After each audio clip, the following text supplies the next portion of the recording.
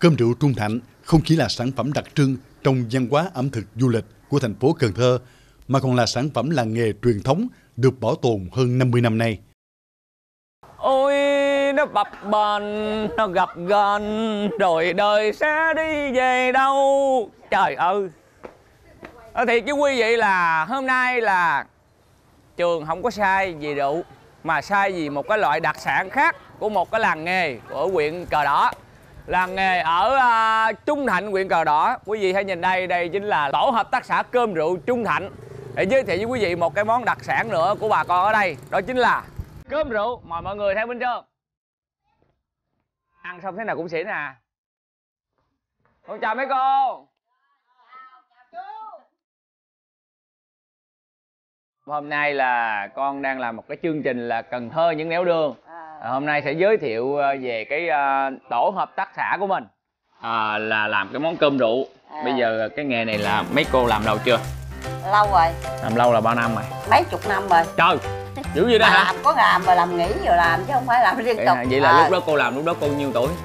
Lúc đó làm hả dạ. Mới có uh, hai mấy tuổi có mấy chồng tuổi? rồi về bên chồng làm luôn hả à lúc đó có chồng rồi mới à, làm ha. à. à, là làm cho ông chồng ăn cái gì? Ờ cho ông ăn. Phải không? Cho ông ăn ăn cho tập cho từ từ. Dạ rồi cái này hồi lúc đó mình làm là mình để mình ở trong nhà mình ăn hay mình làm để bán, để bán đi bán. Ờ, đội bán hồi xưa thì bán vất vả lắm. Thấy nó dễ làm nhưng mà nó người thì làm gì người làm khác nó cũng khó ăn chứ không phải dễ. À vậy hả? Hồi ăn này có sai không? Con đó cho con chưa ăn con chưa ăn giờ không quen thì cũng sai sai thôi chứ có xịn sai sai đấy ha. Rồi bây giờ đâu cô thử cô ờ, chỉ cho con làm thử coi. À. con tập làm thử cái này con dễ bây giờ à, nếp rồi rút cho sạch.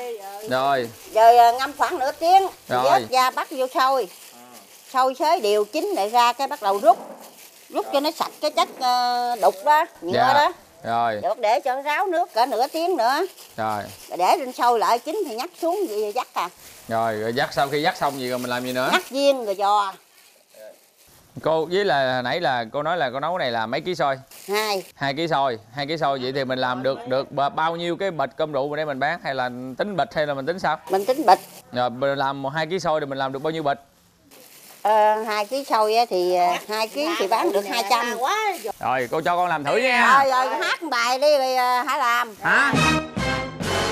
Hát bài luôn hả? Ờ, hát đi, hát cái gì cho vui vui đó Hát bài gì vui vui hả? Ờ. Miền Cần Thơ gạo trắng nước trong vui niềm vui ấm no cuộc sống thôi ca cổ đi chú ơi ca cổ hay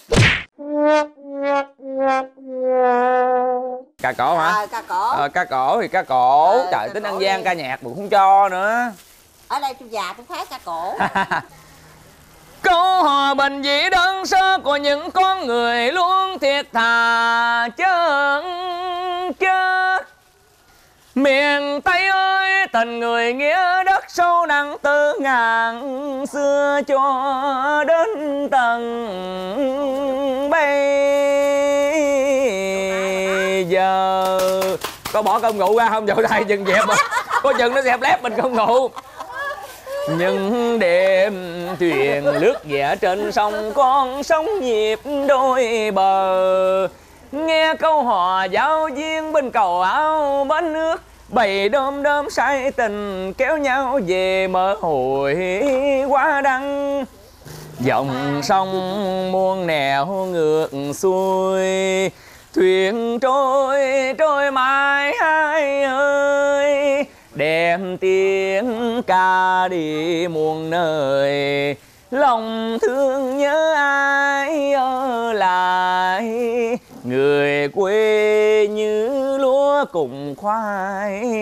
Tình quê sông nước miền tây lái láng nồng sai như dối thăm trầu vàng. Xa xôi nhớ về lại chúng này miền tây chớn chớt mà đông đầy yêu thương.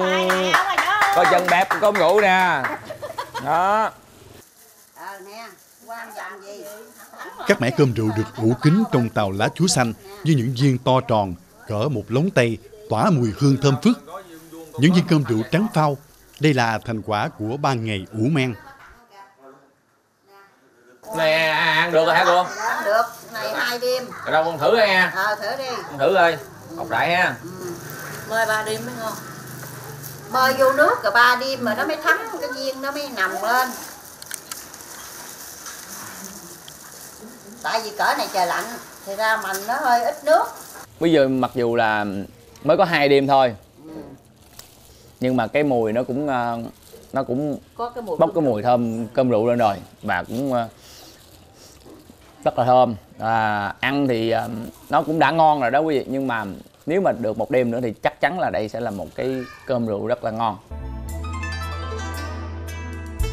Gian trạch Bà Đằng đi từ đầu đến cuối xóm, chúng tôi đều bắt gặp hình ảnh khói bếp nhà nhà nghi ngút và mùi cơm rượu đặc trưng. Đó là mùi của lúa nếp trộn lẫn với hương men, khiến khách phương xa dù chưa thưởng thức cơm rượu đã mê mẩn. Qua bao thăng trầm, xóm cơm rượu vẫn trụ vững với gần 90 hộ gia đình chuyên sản xuất và bỏ muối sản phẩm này. Cô Đào bén duyên với nghề làm cơm rượu ngay từ lúc về nhà chồng. Người dạy bà nghề này chính là mẹ chồng. Tự tay làm rồi mang đi bán khắp các huyện thị trong khu vực thành phố Cần Thơ và tỉnh An Giang. Dù gần hay xa, miễn nơi nào có thị trường tiêu thụ hoặc ai giới thiệu bỏ muối là bà đặt chân tới. Trung bình mỗi ngày, gia đình bà bán được 7-8 ổ cơm rượu. Trừ chi phí, mỗi ổ bà lời 40 tới 50 ngàn đồng. Cơm rượu của bà chủ yếu bỏ muối sỉ ở các chợ gần nhà và các vùng phụ cận như Vĩnh Long, Long Xuyên, An Giang, Rạch Giá, Kiên Giang.